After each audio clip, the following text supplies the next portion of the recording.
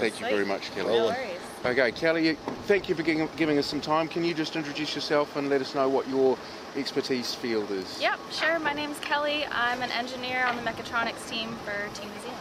Fantastic, thank you. Um, now we had a great day out on the water today. It was uh, bottom end of the range, probably six to ten knots uh, of wind speed, sort of north, maybe a little bit of east of north. Uh, we did notice that you seem to be running uh, a different foil, a non-one design foil on the port arm. Yes, very observant. I know, First I new know. foil of the campaign. Oh. Pretty exciting day for us. It is Um, yeah, it's beautiful. Yeah, beautiful weather, beautiful conditions to be trying a new bit of a new bit of gear. Um, I mean, obviously, we, we couldn't really tell any straight line difference. Um, did seem to be a little bit.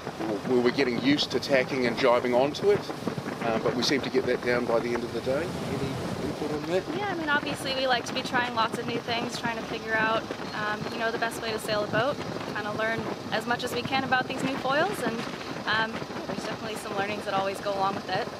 Just getting used to getting used to something different. Definitely, definitely. Now the transition between, you know, basically an asymmetric boat going from one side to the other, does that make the, the gathering of data more difficult?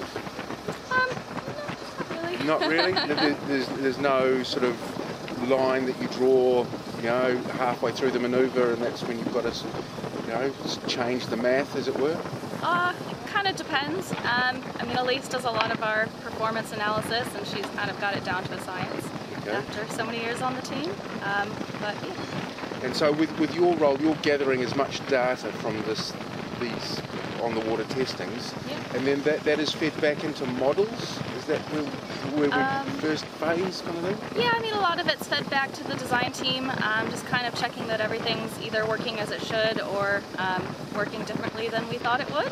Um, so, yeah, it, it kind of depends what data we're collecting, what we're feeding it back into, whether they want to use it in models or just sort of understanding performance-wise how we're doing.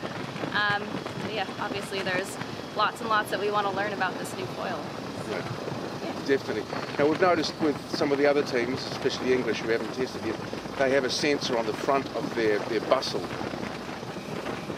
Obviously, we don't know exactly what they're measuring with that, but can you see an advantage in being able to gather data from that area? Um, it sort of just depends what they want to understand, what they want to learn about. Um,